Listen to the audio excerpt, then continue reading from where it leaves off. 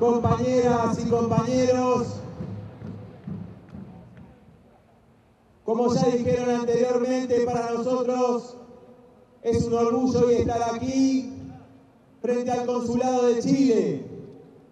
para gritar bien fuerte nuestra solidaridad con ese pueblo chileno que al otro lado de la cordillera se levanta en esa gran rebelión contra el gobierno de Piñera y enfrenta la sangrienta represión.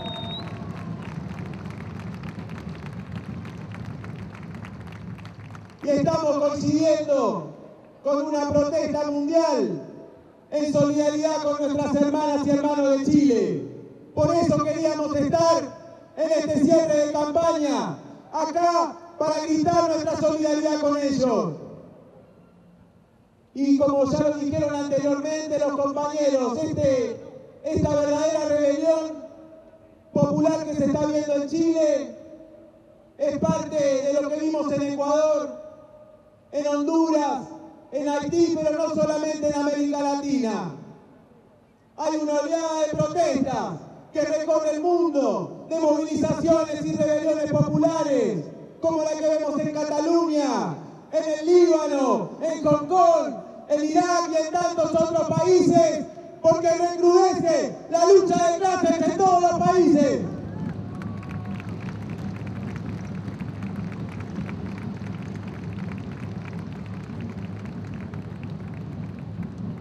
Y esta rebelión popular que se está dando en Chile, lo que sucedió en Ecuador,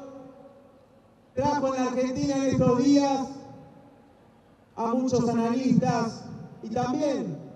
a referentes políticos de los partidos burgueses a discutir y hacerse la pregunta diciendo ¿y por qué el pueblo argentino tuvo tanta paciencia y aguantó a Macri?